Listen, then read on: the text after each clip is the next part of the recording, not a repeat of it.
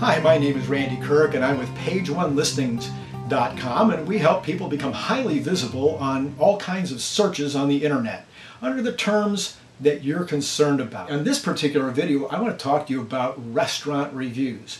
Uh, certainly anybody that's in the restaurant business knows that getting reviews is a critical part of getting folks to come into the store. And this has always been true even before the internet. You would uh, just do it a little differently. You wanted somebody from the local newspaper or lo local magazines to come in and do a review of your store. Boy, it was a big day when somebody from a local television station came in and did a review on your restaurant.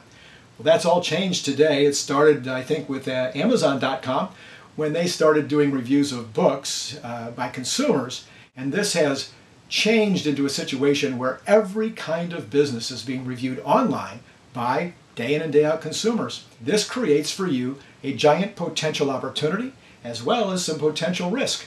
So let's talk a little bit about the restaurant review business. First of all, there's all the traditional, at this point, they've only been around for five to ten years, but the traditional places where you need reviews, like Yelp and City Search. Uh, the new places like Google Places and uh, Yahoo and Bing all have places now where you need to get those reviews. There's also some very industry specific companies online like Urban Spoon, Let's Dine Out, and others who provide industry specific places for consumers to provide reviews. Now, as it turns out, the very most important geography on the web today is Google Places. And Google Places is that map that you see when you first go into restaurant Los Angeles or Italian restaurant Chicago. When you go in there, the first thing you see is that colorful map, and to the right of that are anywhere from one to seven businesses. Usually in the restaurant business, there'll be seven businesses to the right of the map. Everybody now is concerned about being in that seven pack. Your ability to get into the seven pack is at least partially impacted by the number of reviews that you have. In fact, Google says it doesn't even matter whether those are good reviews or bad reviews as long as you have a lot of them.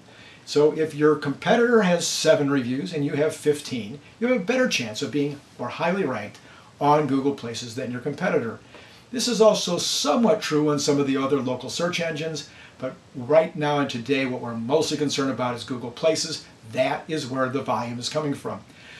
So how do you get lots of reviews on Google Places? Well, first of all, your clients can actually go to Google Places and do a review right there.